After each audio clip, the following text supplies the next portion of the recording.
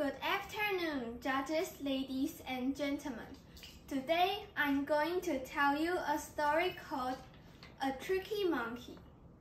Coho the monkey lived in the rainforest. There were lots of monkeys in Coho's part of the forest. Coho had many brothers and sisters. That was good, because Coho had many monkeys to play with. But liked to get attention too. That was hard to, to do with so many monkeys around. One day, Coho decided to play a trick on the other monkeys. Leopard! Coho cried. A leopard is coming! The monkeys scrambled. They climbed up to the highest tree branches. They shook with fear. Leopards like to eat monkeys. Just kidding, he said. Coho's Aunt Emma scolded him. Nobody likes a liar, Coho. Coho felt bad for a little while, but he soon got bored. A few days later, he did it again. Leopard! Coho cried. A leopard is coming.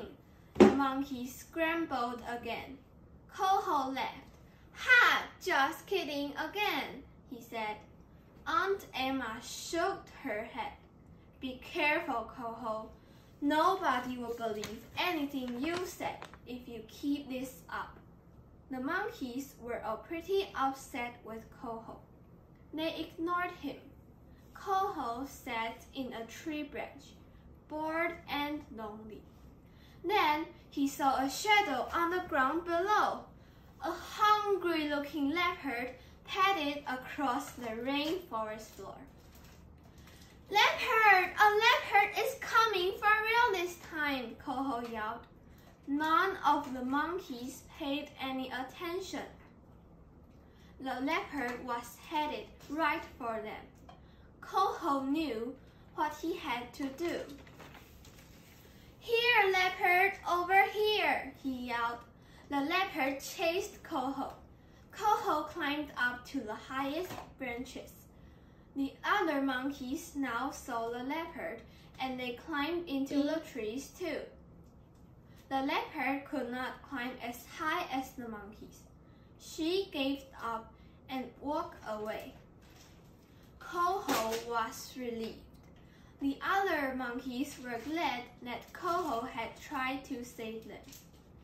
They forgave him for lying and played with him again. And Coho became someone they could trust. Thanks for listening. Have a nice day.